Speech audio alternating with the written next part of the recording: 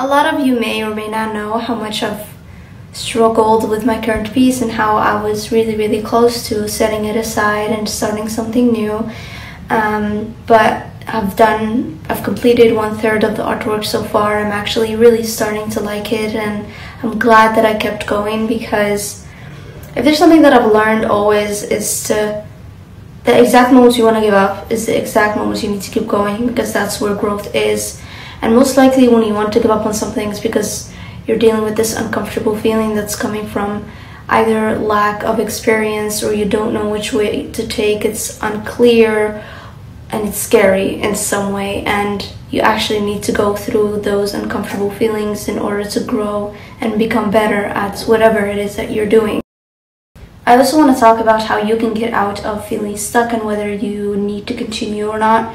First of all, always step, step away from your work um, and just a few days, however long you need, and forget about it.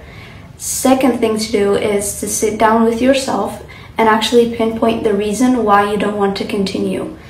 Most of the time it's something silly, it's in your head, it's your mind convincing you that something isn't good enough or because you feel uncomfortable and it's something you've never done before, so it's outside of your comfort zone, which is a good thing because that's where growth is. Once again, uh, maybe you don't like the idea, maybe you don't think people will like it. You have to find the reason and then actually justify if it is a good reason to give up on something.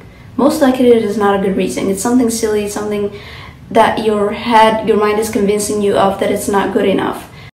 Last thing I want to mention is to also give your work a fair chance.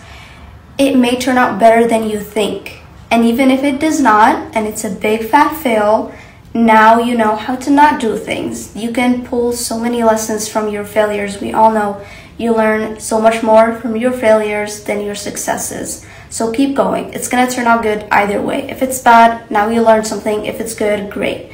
Um, if you needed a sign, by the way, to continue doing whatever it is that you're working on, this is your sign. Don't give up on it. And yeah, thank you for listening to my little tip talk. I hope you enjoyed.